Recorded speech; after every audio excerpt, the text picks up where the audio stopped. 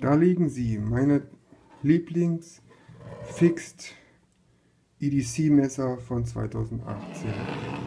Das klassische Udo Poco in ATS 34 Rostträger Stahl mit modifizierten Poco-Anschliff.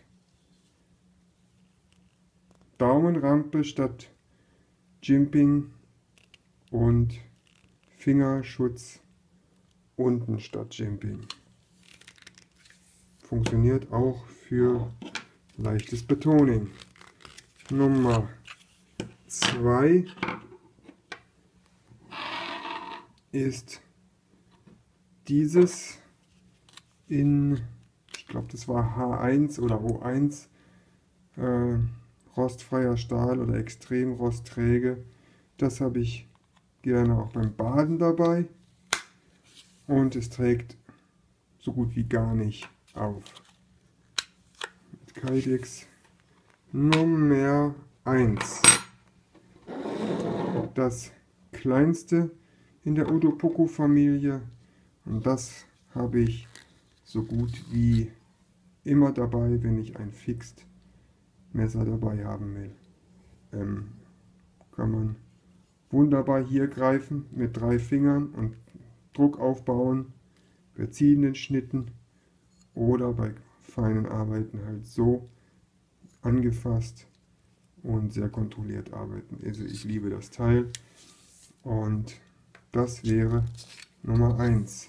Wenn ich analog wie du allerdings das EDC wegnehme, dann muss ich auch ein Küchenmesser nehmen. Also ist es natürlich kein Küchenmesser.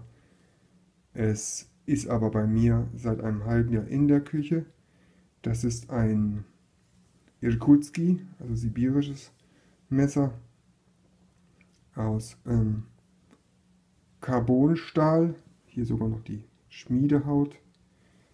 Das äh, im speziellen Schmiedeverfahren in der Mitte gehämmert wird und dadurch selektiv in dem Bereich auf 61 Rockwell hart ist, in dem Bereich wieder etwas weicher, damit die Spitze nicht abbricht, die aber erst im letzten 4-5 mm sich verjüngt und in dem Bereich, damit es flexibel bleibt und nicht bricht.